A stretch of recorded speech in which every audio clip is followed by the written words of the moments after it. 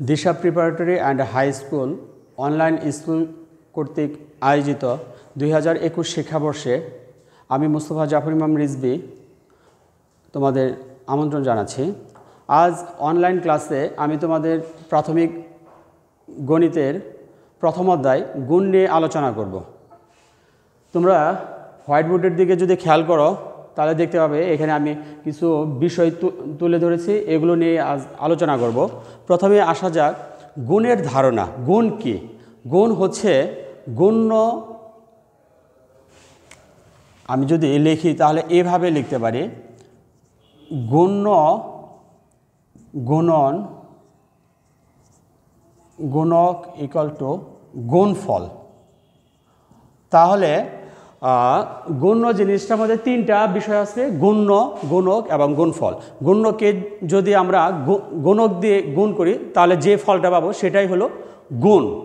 আচ্ছা সেটাই হবে গুণ। যেমন আমরা যদি এটা উদাহরণ দিয়ে যদি এইভাবে দিই, ছোট একশত দশ হ্যাঁ পাঁচ। তাহলে এটা থেকে এমনি বোঝা যাচ্ছে যে একশো দশকে পাঁচ দিয়ে গুণ করা, একশো দশকে পাঁচ দিয়ে গুণ করা, তো পাঁচে শূন্য শূন্য, পাঁচকে পাঁচ পাঁচকে পাঁচ, তার মানে এটা গুণফল এটা। তো এইখান থেকে তাহলে আরেকটা বিষয় আমরা বলতে পারি যে গুণ হচ্ছে যে সংখ্যাকে যে সংখ্যাকে গুণ করা হয় তাকে গুণ্য বলে। এখানে একশো দশ হচ্ছে গুণ্য। গুণক তাহলে কি বলতে পারি? যে সংখ্যা দিয়ে গুণ করা হয় তাকে গুণক বলে। তো এখানে পাঁচ হচ্ছে গুণক, আর গুণফল তো আমরা বুঝতেই পারলাম, পাঁচশত পঞ্চাশ।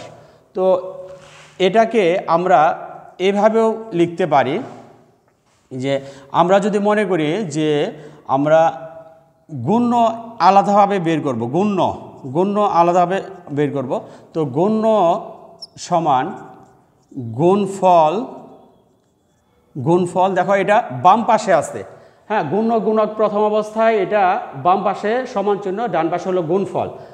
এটা আমরা এক দিই, তো দুই যদি আমরা এইভাবে দিই, গুণ্য এক সাইডে রাখব, গুণফল ভাগ গুণক, গুণফল ভাগ গুণক। আচ্ছা তার মানে এই গুণকটা বাম পাশ থেকে ডান পাশে এলে এখানে ভাগ চিহ্ন হয়ে যায়। আমরা এটা যদি উদাহরণের মাধ্যমে প্রকাশ করি, যেমন কোনো একটা অঙ্কে গুণফল গুণফল পাঁচশত আছে, গুণফল পাঁচশত আছে। এবং সেইখানে গুণক যদি গুণক যদি পাঁচ থাকে, তাহলে আমরা গুণফলকে পাঁচ দিয়ে ভাগ দিলে কিন্তু আমরা খুব সহজেই গুণ্য পেয়ে যাব। এখানে গুণ্য পেয়ে যাব। আচ্ছা তো এটা পাইলাম। আবার আমরা যদি মনে করি তিন নাম্বারে হ্যাঁ গুণকটাকে শুধু বাম পাশে রাখব। তাহলে এভাবে দেওয়া যায় গুণক সমান গুণফল ভাগ গুণ্য ভাগ গুণ্য। আচ্ছা। কোনো যদি বলা হয়ে থাকে কোনো অঙ্কে গুণফল পাঁচশো হ্যাঁ? গুণফল পাঁচশো এবং সেখানে গুণ্য যদি গুণ্য যদি একশত থাকে, তাহলে আমরা এটাকে যদি ভাগ দিই, তাহলে কিন্তু আমরা গুণক পেয়ে যাব, গুণক পাঁচ। তাহলে দেখা যাচ্ছে যে এই গুণের ভিতর যে তিনটা সূত্র আমরা পেলাম, গুণ্য ইন্টু গুণক সমান গুণফল, গুণ্য সমান গুণফল ভাগ গুণক এবং গুণক সমান গুণফল ভাগ গুণ্য। তিনটা সূত্র আমরা পেলাম, তাহলে এটা গুণের ধারণা পেলাম। ওকে? এটা গুণের ধারণা পেলাম। তো গুণ আমরা কেন করি? যে অঙ্কের যে চারটা প্রক্রিয়া আছে, যোগ, বিয়োগ, গুণ, ভাগ, এই চারটার মধ্যে গুণ একটি। কোনো সংখ্যাকে বারবার যোগ করার চেয়ে যেমন দশ, একশো একশো একশো হ্যাঁ একশো, দেখো, চারবার গুণ যোগ করার চেয়ে হ্যাঁ এই চারশো পেলাম। তো আমরা যদি এই একশো, কয়বার আছে? এক, দুই, তিন, চার। একে যদি আমরা চার দিয়ে গুণ দিই তাহলে কিন্তু আমরা চারশো পাবো। তার মানে কোনো একটা সংখ্যাকে বারবার যোগ করার চেয়ে আমরা গুণের মাধ্যমে ওই ফলটা খুব সহজেই পেতে পারি। তো মোটামুটি এই পর্যন্তই গুণের ধারণা। এখন আসা যাক যে তিন বা চার অঙ্ক বিশিষ্ট অঙ্ককে হ্যাঁ তিন বা চার অঙ্ক বিশিষ্ট অঙ্ককে তিন বা তিন অঙ্ক বিশিষ্ট সংখ্যা দ্বারা গুণ করা। আচ্ছা এখন আরেকটা বিষয় তোমাদের বলে রাখা ভালো যে গুণ্য এবং অঙ্ক এবং সংখ্যার মধ্যে তোমাদের আইডিয়া ধারণা আসতে কিনা? যেমন শূন্য থেকে এক, দুই, তিন, চার, পাঁচ, ছয়, সাত, আট, নয়। হ্যাঁ এই যে, এই দশটি হচ্ছে অঙ্ক, দশটি অঙ্ক হ্যাঁ ডিজিট ডিজিট, এই দশটি ডিজিট, শূন্য থেকে নয় পর্যন্ত। আবার এই দুইটা দুইটা অঙ্ক মিলে একটা সংখ্যা হয়, যেমন এটা কিন্তু সংখ্যা। দুই, তিন, এটা সংখ্যা হ্যাঁ এই আট, পাঁচ, এগুলো সংখ্যা। তার মানে আমরা এখানে কিন্তু একটা জিনিস ক্লিয়ার হইলাম, অঙ্ক এবং হ্যাঁ অঙ্ক এবং সংখ্যার মধ্যে যে পার্থক্যটা। আচ্ছা। আসো।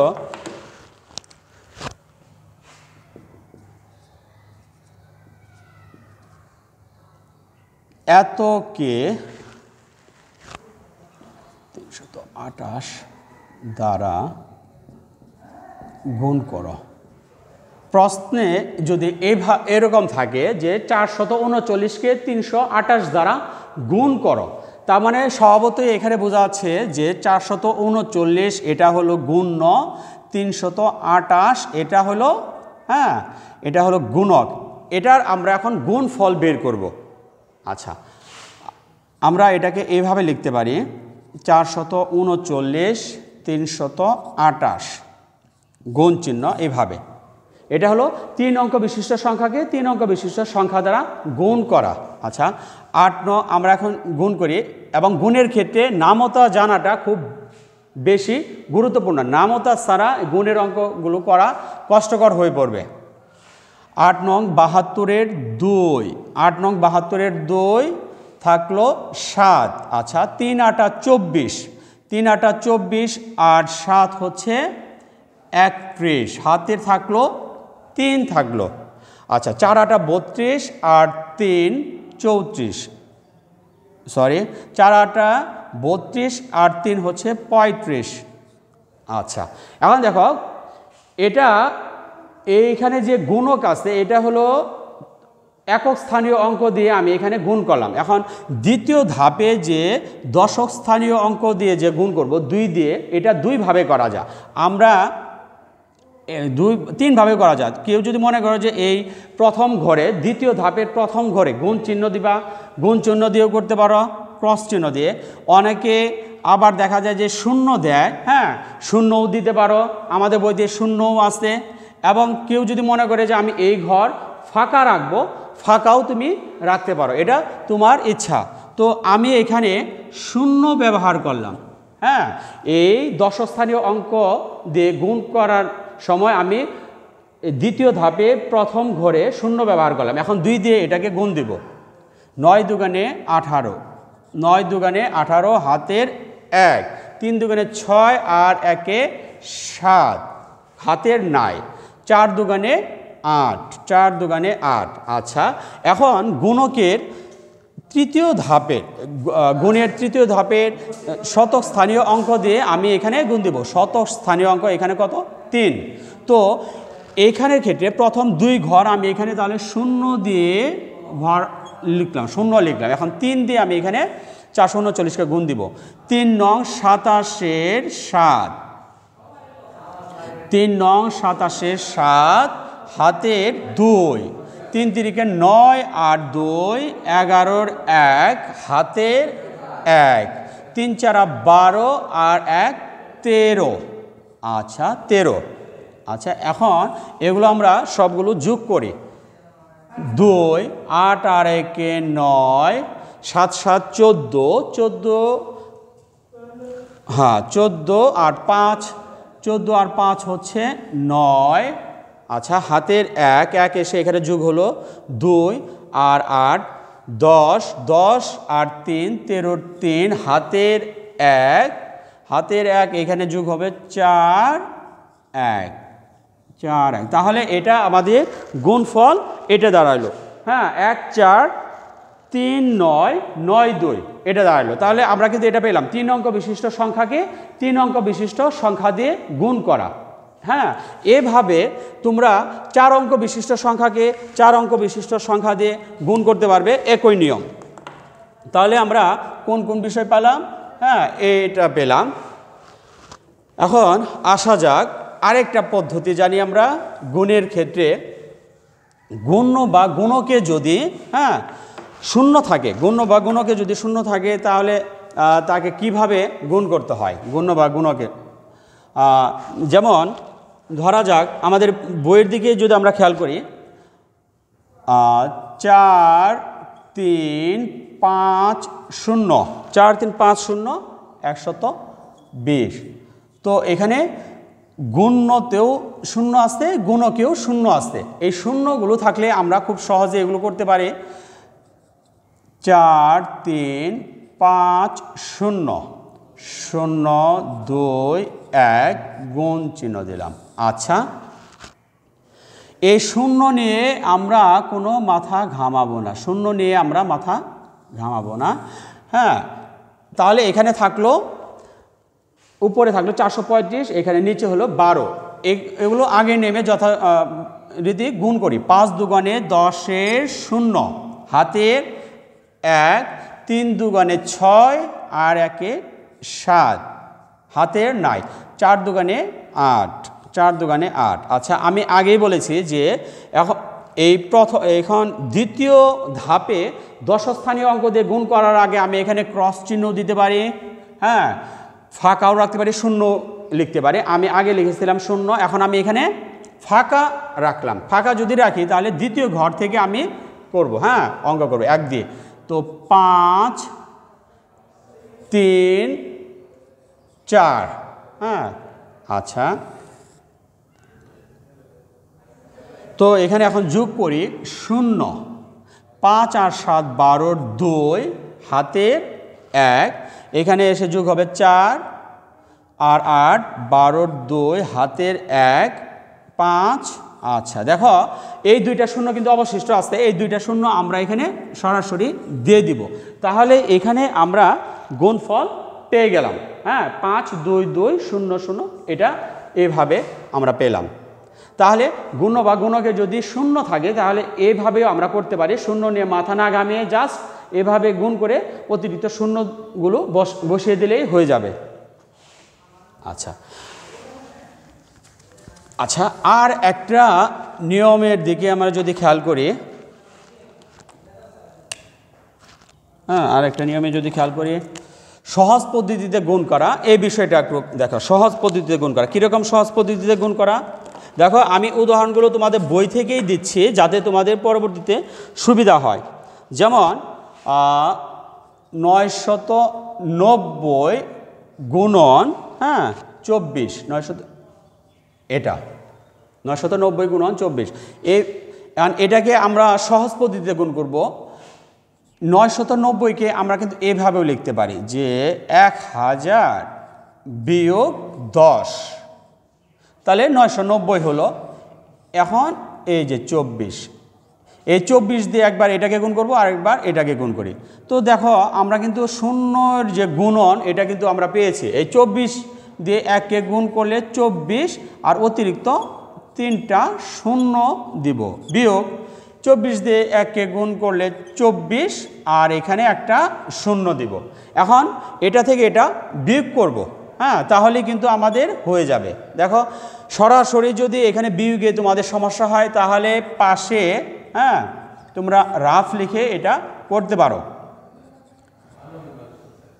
চব্বিশ হাজার আচ্ছা শূন্য চার দুই। শূন্য আচ্ছা এই উপরেটাকে শূন্যকে দশ ধরতে হবে। দশ থেকে চার গেলে ছয়, হাতের এক, এখানে এসে যোগ হবে তিন, দশ থেকে তিন গেলে সাত, হাতের এখানে এক হ্যাঁ? তো চার থেকে এক গেলে তিন। আচ্ছা আর এখানে দুই। তাহলে আমরা পেলাম দুই, তিন, সাত, ছয়, শূন্য। তো দুই, তিন, সাত, ছয়, শূন্য। এটা হলো গুণফল। তাহলে সহজ পদ্ধতিতে গুণ করা আমরা এটাও শিখলাম। এখন এটা তো আমরা বিয়োগ করা শিখলাম। আরেকটা বিষয় একটু তোমাদের বলে রাখি। এটা বিয়োগ করে, আর কিছু আছে যেমন যোগ করে, যেমন একশত দশ ইন্টু গুণন তেরো যদি থাকে হ্যাঁ? এখন এটা আমরা তাহলে কীভাবে করব? একশোর উপরে, তাহলে খুব সহজে আমরা এটা করতে পারি। একশত যোগ দশ হ্যাঁ? ইন্টু তেরো সরি তেত্রিশ। এখন এই তেত্রিশ দিয়ে একবার একশোকে গুণ করব, আবার দশকে গুণ করব। তেত্রিশকে তেত্রিশ শূন্য শূন্য। যোগ তেত্রিশ, এই শূন্য অতিরিক্ত শূন্য। এখন এটাকে আমরা সরাসরি যোগ করলে যদি সমস্যা হয়, আগের মতোই আমরা এভাবে করতে পারি, তেত্রিশ শূন্য শূন্য শূন্য তিন তিন হ্যাঁ? দেখো, শূন্য, তিন, ছয়, তিন। আচ্ছা। তো তাহলে এখানে যোগ ফলটা এটা লিখে দেই, তিন, ছয় হ্যাঁ? তিন শূন্য। আচ্ছা তাহলে সুপ্রিয় শিক্ষার্থীবৃন্দ, তোমরা তাহলে আজকে তিন ধরনের অঙ্ক সম্পর্কে জানলে হ্যাঁ আশা রাখি তোমরা এই বিষয়ে বাসায় আরও বেশি প্র্যাকটিস করবে এবং এই একই নিয়মে তোমরা করতে পারবে। পরবর্তী ক্লাসে আমরা পরবর্তী টপিক নিয়ে আবার তোমাদের সামনে হাজির হব। সে পর্যন্ত তোমরা সকলে বাসায় বসে বসে বেশি বেশি এগুলো চর্চা করো, তোমরা অবশ্যই এগুলো পারবে। সে পর্যন্ত তোমরা সকলে ভালো থাকো, সুস্থ থাকো। আল্লাহ হাফিজ।